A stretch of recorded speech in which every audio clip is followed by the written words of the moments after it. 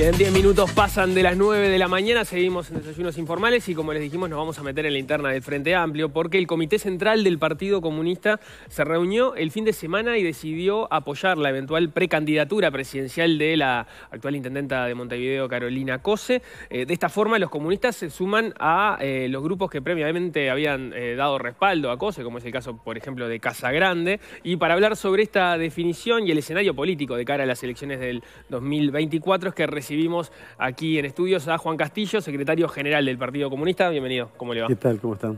Bienvenido. Bienvenido. Bienvenido, buenos días. Eh, ¿Por qué el, el Partido Comunista toma esta definición de apoyar a, a Carolina Cosa y por qué la toma en este momento? Bueno, el proceso de debate nuestro fue muy largo. ¿no? De, de hecho que hemos venido en los últimos ejecutivos analizando esto como una parte de- de- de- del análisis que teníamos que realizar y cómo llegábamos a este Comité Central de Mayo, que ya estaba previsto desde marzo que se hiciera, a los efectos de ver cuáles eran los elementos a favor y en contra de tomar o no la decisión y tomarla a favor de Carolina o no. Eh, proceso que desde el punto de vista del informe recorre eh, la campaña eh, interna anterior del 2018, en donde en aquel momento nosotros acudimos a una figura, a un dirigente de nuestra propia estructura, Óscar Andrade, que, que en realidad era lo nuevo. Muy pocas veces el Partido Comunista ha colocado candidatos de su interna para, eh, para proponer. Sí, de hecho, eh, estoy jugando de memoria, pero la candidatura de Andrade no surge estrictamente del Partido Comunista, por lo menos no en primer momento, sino que es un grupo de frente amplistas este, independientes, vinculados a la cultura, si no me equivoco, que son Sí. los que ponen su nombre arriba de la mesa y después lo termina tomando como propio el, el Partido Comunista, ¿no? Exacto, eso es así, el, el camino fue así, colocó el tema, lo proclama y obviamente que se estaba hablando de un dirigente de- de- que integra nuestra dirección, no, no podíamos hacerlo distraídos. Nosotros debatimos, discutimos eh, largamente también en, en aquella instancia, Más que pocas veces, única vez, creo, ¿no? única, nosotros Única, no, ¿no? teníamos ningún candidato. O sea, cuando uno apela a candidatura interna, el, otro caso más cercano fue cuando se impuso mi candidatura para la presidencia de Frente Amplio. Este, eh, con Mónica Javier, que termina siendo la electa, pero no es una tradición del partido impulsar sus propios dirigentes para, para encabezar candidatura. Eh, lo, lo- lo nuevo había sido en ese escenario Oscar Andrade, un Montevideo, contexto político. Sí, también propuesta por desde afuera del partido, ¿no? O sea, acuérdense de que hasta el momento mismo de la definición eran otros los precandidatos a la intendencia, no hubo acuerdo en otros sectores y terminan ofreciendo la candidatura. Sin embargo, Óscar Andrade fue el único que se abstuvo de votar este apoyo unánime que tuvo el Partido Comunista a Carolina Cosa y lo hizo en realidad apoyado en una línea histórica que tiene el Partido Comunista, que es primero definimos el programa de gobierno y en función de eso los candidatos. ¿Por qué entendió el Partido Comunista que era mejor no apoyarse en esta conducta histórica y apoyar a Carolina Cosa?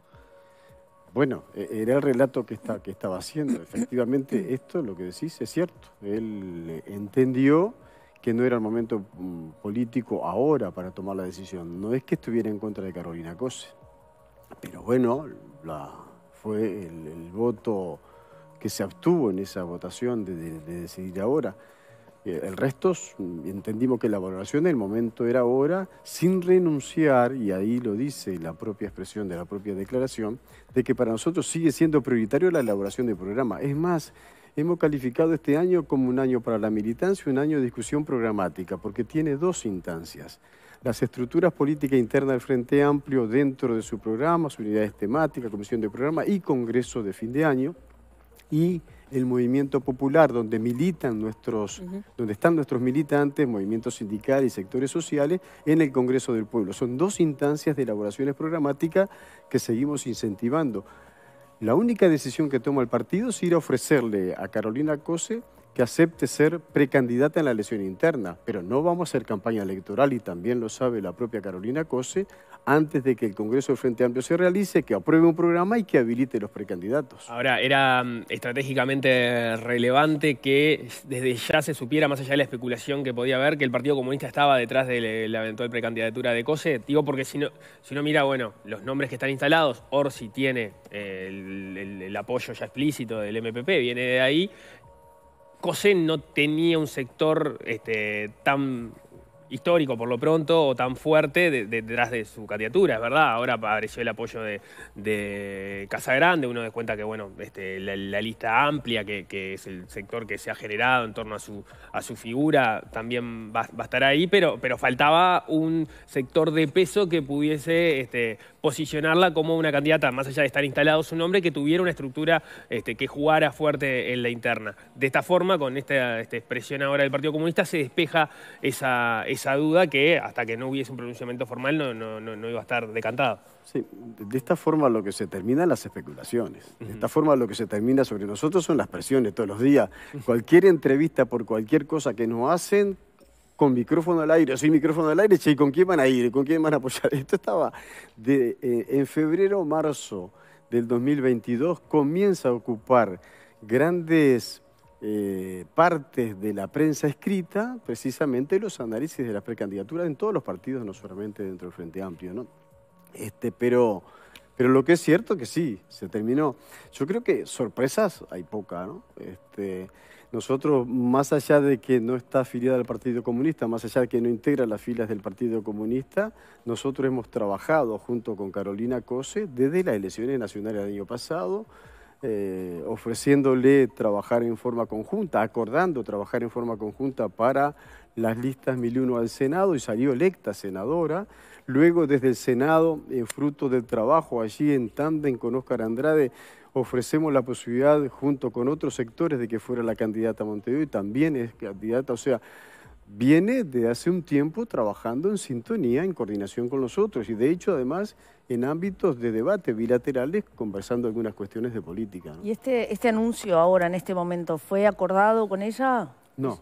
No. Eh, eh, era imposible, o sea, las decisiones que tome el partido, este, nosotros no podemos estar discutiéndola con todo el mundo. Este, eh, antes del Comité Central, nadie sabía que, cuál iba a ser la opinión de los integrantes de la dirección. Podés intuir, más o menos uno. Bueno, si fue por unanimidad o casi por unanimidad, la verdad que se podía saber bastante. Bueno, entonces tan errada la dirección no estaba en colocar esta propuesta y las valoraciones que todos los comunistas de todo el territorio, ¿no? son 62 miembros que integran la dirección del Comité Central del Partido, este, que responden a todos los departamentos, a todas las localidades y a todas las sensibilidades distintas, militantes sociales, intelectuales, estudiantes, obreros. Por tanto, este, eh, bueno, hay de repente un determinado consenso y acuerdo que es ella la que reunirá las condiciones para esta etapa y en este contexto, vuelvo a insistir, ser la precandidata que nosotros le ofrezcamos que, acepte. Esa. Tanto Cose como Andrade señalaron que existe un exceso de moderación en la narrativa electoral y que en realidad eso al Frente Amplio no le conviene, que para captar un electorado no debería de centrarse en la población este, más moderada, de centro, izquierda y tal, sino ir con un relato más radical. ¿Usted está de acuerdo con esa idea? No, no leí, no escuché esas declaraciones. Nosotros no estamos en campaña electoral todavía, lo dije, lo dice la resolución, lo repetí yo acá todavía. Simplemente hemos ofrecido una precandidatura a una compañera, veamos si la acepta. Y la elaboración del programa y el tono de la campaña y los tonos de los discursos lo vamos a dar una vez que esté aprobado allí. De hecho que nuestra práctica es una práctica que se diferencia, sí, del resto de los sectores. Yo Creo que ustedes que ven desfilar los distintos dirigentes de las distintas corrientes acá, no todos pensamos exactamente iguales o colocamos los énfasis en el mismo lugar. Nos une una fuerza política, nos une el Frente Amplio y nos une, por sobre todas las cosas, la urgente necesidad que este país cambie de gobierno, cambie de signo político al frente.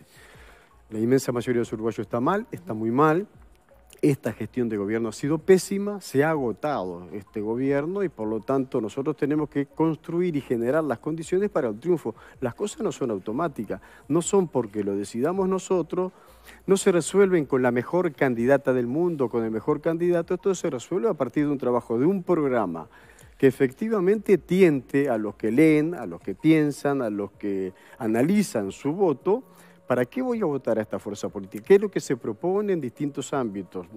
La cultura, la educación, la salud, el trabajo, la distribución de la riqueza, el comercio exterior. ¿Para dónde vamos a ir? Bueno, ese es el programa que se está construyendo. Y luego, además, porque hay cosas que no están directamente ligadas a los sentimientos, a las sensibilidades o a las preocupaciones de los uruguayos hoy. La preocupación de los uruguayos hoy no pasa por saber quién es el precandidato o la precandidata. Algunos lo saben si van a tener trabajo a fin de mes. Hay trabajadores que están en huelga ocupando sus lugares de trabajo. Eh, hay situaciones desde que falta el medicamento, hay baja de salarios, hay caída de las jubilaciones, Ese hay falta de agua potable. Estos son los problemas de los uruguayos. Claro, vos pareces como marciano, después si te parás como dirigente político a decir, miren que tomamos la gran resolución, hemos decidido que nuestro precandidato no. Esto tiene que ver con una interna orgánica, tiene que ver con necesidades políticas del partido, posicionarse en la interna Frente Amplio pero no distraer la atención. Nuestro esfuerzo va a seguir estando en la elaboración del programa en donde nos toque militar, en la estructura del Frente Amplio y Política o en el movimiento social con el Congreso del Pueblo. ¿Tiene que ser una interna Orsi y Cose o tiene que haber otros candidatos? Si nos rascan un poquitito, nosotros no podemos resistir un archivo que los comunistas planteamos una vez que consolidamos la unidad de la izquierda hace 52 años en un partido político Creemos que tiene que tener un programa único que nos rija a todos y debería haber una candidatura única para representarnos. Ese nos rascan y planteamos eso en todo lugar. Y perdemos con todo eso también en los últimos congresos en donde afloran, aparecen más precandidatos que también después lo aprobamos. No somos eh, el palo en la rueda, no somos el que ponemos el freno. Si otros piensan distinto y son mayoría, se habilita. El ideal sería llegar con dos candidatos y entonces capaz que entonces en ese ideal uno piensa, capaz que salimos con fórmula del Congreso. Veamos qué es lo que ocurre, porque en el escenario, hoy, hoy, el contexto veintitanto de mayo, 30, 30 de mayo, este, del 2023, habla que hay tres precandidatos, dos precandidatos ya aceptados, Andrés Lima, el intendente de Salto, Yamandu Orsi, el compañero propuesto por el MPP y intendente de Canelones, y ahora que le hemos ofrecido nosotros y otros sectores más la precandidatura a Carolina Cosa. Ya hay tres. Y todavía nosotros no nos hacemos lo distraído que otros compañeros impulsan o analizan la posibilidad que Mario Vergara pueda ser otro candidato. Y capaz que llegamos con cuatro. No importa quién de ellos resulte, porque después el que decide es el Frente Amplista en las urnas. Lo que importa es que el Frente Amplio gane.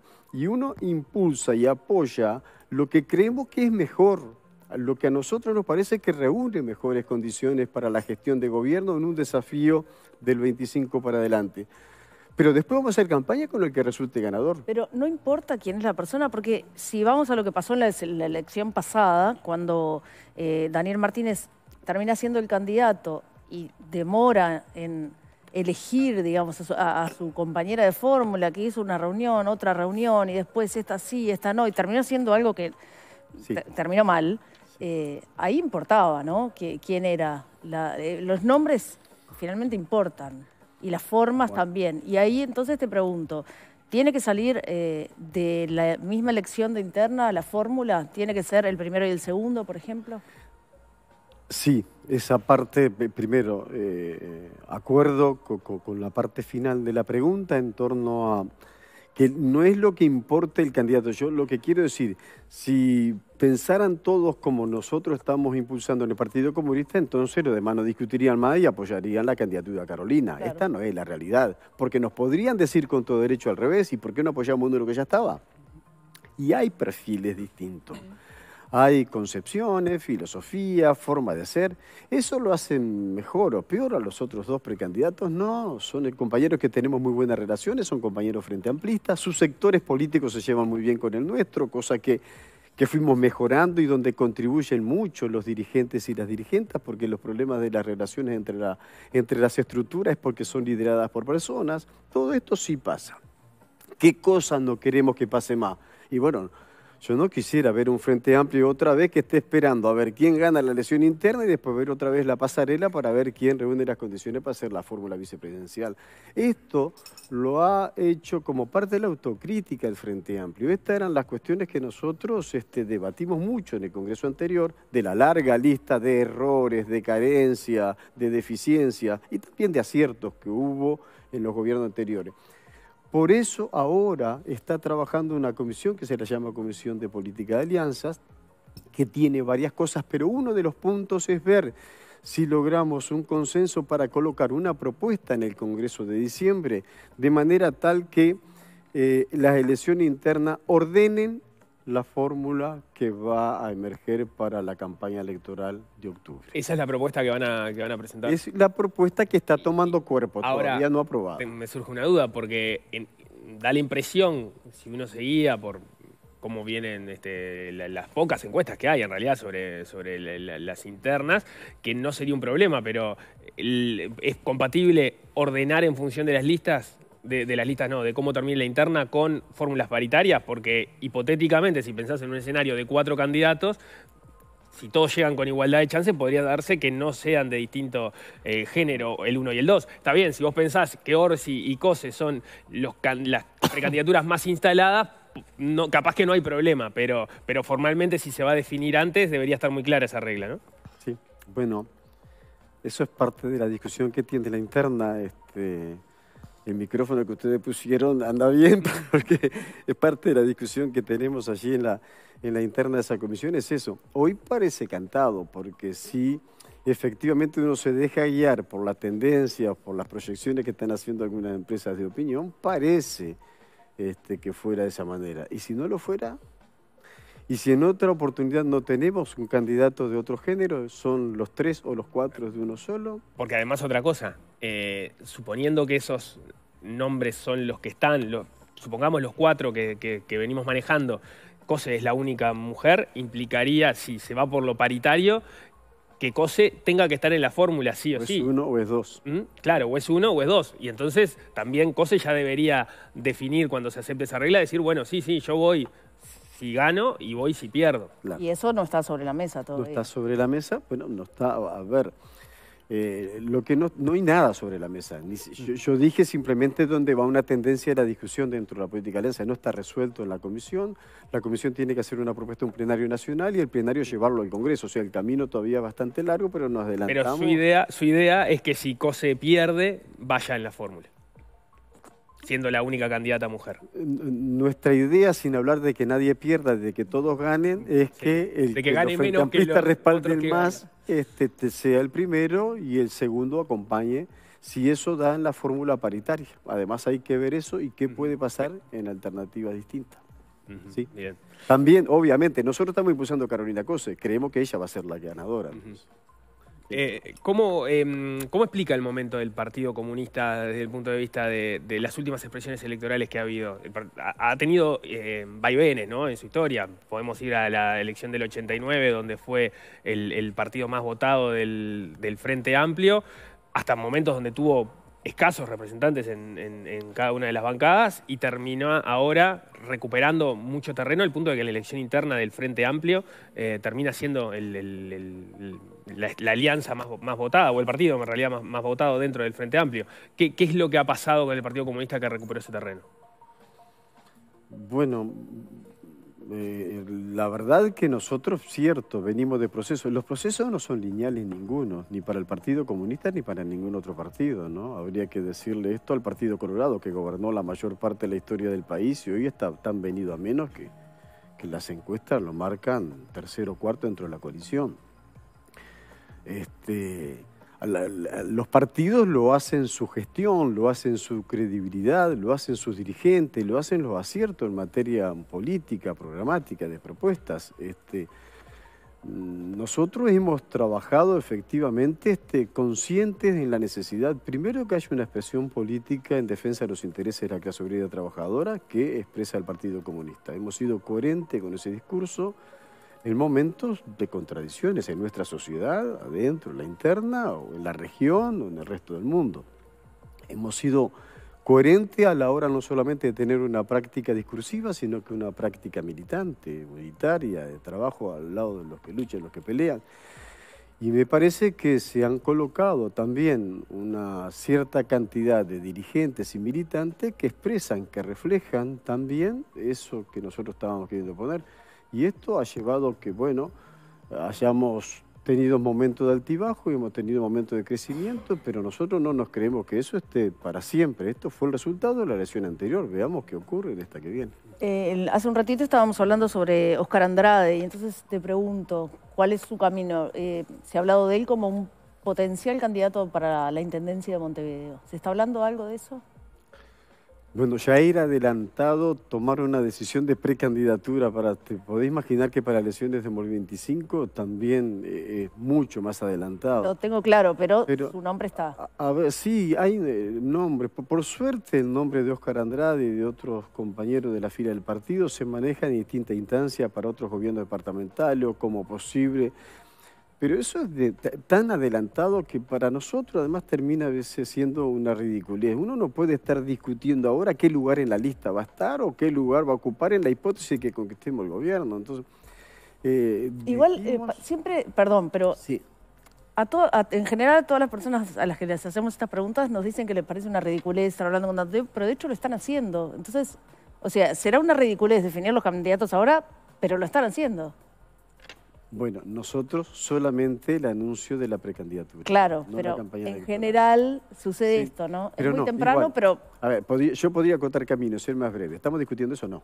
perfecto. Pero me parece que no es una respuesta solamente acerca adecuada porque no fue hecha esa en el tono. La respuesta mía tiene que ver con que eh, Óscar Andrade es uno de los principales dirigentes que tiene el partido. Es un valor político, es un capital que tenemos los comunistas este, como militantes, de las cuales hay una cantidad también de compañeros que se están proyectando y compañeras que se están proyectando pero no lo estamos proponiendo, no, no estamos negociando con él. A, veces, me- a mí me han preguntado si puede ser el candidato Canelones. Me preguntaban antes de esta decisión si nosotros íbamos a hacer una especie de enroque votando ahora. Si, ¿A ustedes no les llegó eso? Esto Sí, claro. estaba, los medios me preguntaban. ¿Qué opinión le merece que Lula haya recibido a Nicolás Maduro a la par de otros presidentes en Brasil en este encuentro de presidentes de la región, cuando, por ejemplo, Naciones Unidas ya ha denunciado y demostrado que el régimen de Nicolás Maduro no solo genera, mm, produce torturas a personas, hace desaparecer personas y viola derechos humanos? No sé, yo qué sé qué le pasó a Lula. No sé. ¿Es correcto equipararlos Pero con otros Yo- presidentes que sí tienen una actitud La democrática? pregunta es que tú pretendes que yo cuestione a Lula, que haya recibido No, no, ¿qué opinión le merece No, a no, usted? No, he pensado pregunto. en la opinión. Mi opinión no coincide con la tuya de que esto esté ocurriendo en Venezuela. Pero ¿Qué es lo que pasa en Venezuela? Yo qué sé qué pasa en Venezuela, yo lo vivo acá. Bueno, pero tenemos informes de varios organismos ¿Tú, tú internacionales. estuviste en Venezuela recientemente? No, leo los informes de, ah, de lees Naciones Unidas. lo que dicen y yo puedo leer otras, otras cosas y que dicen cosas ¿Qué, distintas. qué es lo que pasa para usted en, en Venezuela? Que hay un gobierno que está electo por su población, que está llevando adelante el país en medio de un mar de dificultades y provocaciones que se le viene haciendo. ¿Hay violaciones a los derechos humanos o crímenes de lesa humanidad? A mí no me consta, a mí no me consta, yo no sé si está pasando eso. Tú sí lo sabes, por eso lo estarás afirmando. Pero yo no soy quien para cuestionar a Lula. Pero eh, hay informes, no sé, usted no va, no va a creer que la expresidenta de Chile, Bachelet, es de derecha o gente de la CIA, en fin, ha sido muy categórica respecto a las torturas en, No en parece. Venezuela.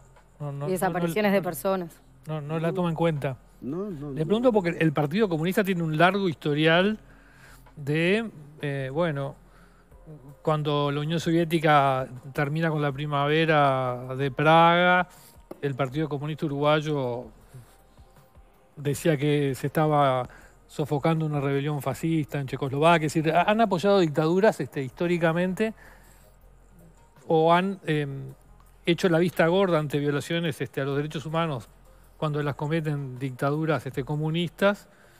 ¿No hay una lección aprendida del Partido Comunista al respecto? A, a ver, Hungría, Checoslovaquia, me, me Polonia. invitan para hablar de la asociación del Comité Le- Central le por pregunto- Carolina Bueno, hay- hay- me pregunto- Está la a la, internacional de la a la región. dictadura de Praga, a- a- al triunfo de la revolución de Lenin en 1917, al avance de los barbudos en Cuba. ¿Quieren hablar de eso? Un día me invitan y hablamos. No, de queríamos todo eso. hablar de la posición eh, que tiene ¿qué el Partido tiene Comunista frente a lo que eso? está pasando en la región. No entiendo qué es lo que tiene que ver eso con lo que me traen para. Yo le digo por qué se lo discutir. dije, Pero me pareció que ante la pregunta a mí me que gustaría ella- revertir, ya que están tan preocupados del panorama y la política internacional.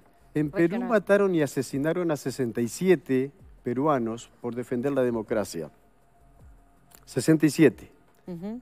¿no? Este, desbancaron y está preso el presidente Castillo, electo democráticamente, y hay una usurpadora en el gobierno. Es- ¿Eso es dictadura o no es dictadura? Bueno, ¿Y eso es asesinato o no es asesinato? Juan Castillo quiso disolver el Parlamento, ¿no? A ver, Colombia, Juan, Juan no, Pedro. Eh, eh, eh, no. Perdón, perdón, perdón, perdón, No, perdón. Y, y ni siquiera es familiar mío. Perdón, perdón. Pero, pero a ver, en Colombia, ahora está Petro de presidente, pero en Colombia ha cobrado más vida ser militante sindical y luchador social que dirigente guerrillero o militante guerrillero. ¿Cuándo, ¿Cuándo se cuestionó eso? ¿Cuándo rompió la relación Uruguay con eso? ¿Cuándo los partidos políticos dijeron alguna cosa distinta? ¿Y por qué nosotros los comunistas uruguayos tenemos que rendir cuenta de todo el mundo? Atribúyanme a los comunistas uruguayos a quién hemos hecho desaparecer nosotros, a quién hemos asesinado nosotros. Son al revés. Acá la larga lista es de asesinados y desaparecidos comunistas uruguayos por defender la democracia. De eso sí, algún día quiero sentarme a hablar. Está bien. Y a propósito de eso mismo le pregunto, ¿qué opina de la proposición del gobierno de abrir los archivos de la dictadura? Que justamente tiene mucho... Ayer estaba revisando los documentos que incluye y hay mucho sobre los presos comunistas, Sí. la lista de integrantes del Partido Comunista, de la UJC, en fin, hay todos esos documentos están todos ahí. Ahí leo la, la versión que nos llega a nosotros de lo que militan en derechos humanos y de lo que han trabajado con esto, es que no estamos hablando de los archivos del Estado, no son archivos públicos del gobierno, son archivos de un privado que tenía en su casa en la cual nadie puede dar crédito que sea todo exactamente legítimo como estaba o esté plantado, que tenga algunas cosas allí, esté algún dardo colocado. Esa es la preocupación que ha colocado el Frente Amplio y la que venimos denunciando. Que están adulterados los archivos, Sí, que puede pero ser. tienen información de que eso esté Y pasando. lo tenía en la casa un privado, ¿no? Esa es la situación. No es el archivo del Estado, no es el archivo del Ministerio de Defensa. Bueno, lo que pasa es que se sacaron de ahí y se lo llevó, ¿no? Se lo llevó, que se lo llevó abajo el cuadro, entonces lo tuvo ahí cuidado para cuando Pero viniera un gobierno democrático dárselo. No, no, se lo sacó una un- por orden de... Por orden del juez, está bien, juez, pero lo tenía un privado en su poder. ¿no O es? sea, no confían en que sean... El hay una suerte de desconfianza. No tengo ningún elemento para profundizar más que lo que te estoy diciendo. Eso es lo que nosotros hemos discutido y analizado. Una Obviamente de que hay un reclamo siempre muy fuerte nuestro y de toda la sociedad de que se sepa toda la verdad. A mí me gustaría que, además de esto, el ministro de Defensa viniera acá y se sentara a decir, a partir de ahora el Estado se va a hacer cargo de saber toda la verdad, de que efectivamente la justicia trabaje por todo y saber ¿No es lo que los está militares... diciendo? ¿Y qué militar ha hablado qué ha pasado con los desaparecidos? Bueno, pero eso está... eh, No, no está depende bien, de él. eso no depende de él, digamos. ¿Y O quién sí, es el jefe de o sí depende. Pero ¿Quién es el Mujica, Mujica también dio un discurso público, ordenó, también lo hicieron. Vuelvo a insistir, Mujica es No, Mujica. no, no, lo que digo es que no depende, no depende necesariamente en del, este del mando escenario. político, sino que depende de la Mira, voluntad ver, de los que la aparición o la colocación de un expediente privado para darle una difusión como si fuera de certeza pública, lo ha colocado este gobierno. Y este gobierno, ¿por qué no le dice a los militares que saben a quién torturaron, a quién asesinaron, dónde lo enterraron, que nos digan la verdad?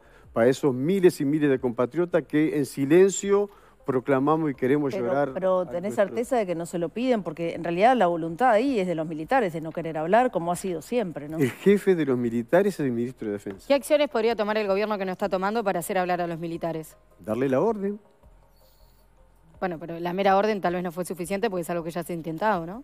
Bueno, veamos. ¿Hay alguna acción distinta que se podría tomar y no se toma? Hay Recordemos que Tabaré Vázquez, colocando, Tabaré sí. Vázquez pidió los tres informes a, A las ver. Fuerzas Armadas y hasta, hasta ahí llegó, ¿no? Nosotros venimos de procesos de autocrítica con eso que ya lo hemos hecho y lo hemos dicho, ¿no? No, soy- no estoy culpando al gobierno ni culpando al ministro. Estoy diciendo, para Hay ser margen. coherente con que coloco un expediente porque lo conocí, que le diga a los militares, che, ¿no será hora de que digan qué hicieron con los desaparecidos, con mujeres, con jóvenes? Pero decís que es tan fácil que contesten, o sea, es lo más difícil que ha pasado, que, que hablen. En algún momento, yo qué sé, mira, yo convivo con militancia de los españoles que quieren saber qué pasó hace 70 años con sus muertos y aparecen fosas comunes todavía. Convivo con judíos que todavía están hablando del holocausto, que quieren saber qué ha pasado con sus asesinados. Con armenios que reclaman lo mismo. Y nosotros no tenemos derecho en saber qué ha sido la suerte de los Yo uruguayos. no te- Pero por favor, no me pongas como si yo estuviera cuestionando el derecho, todo lo contrario.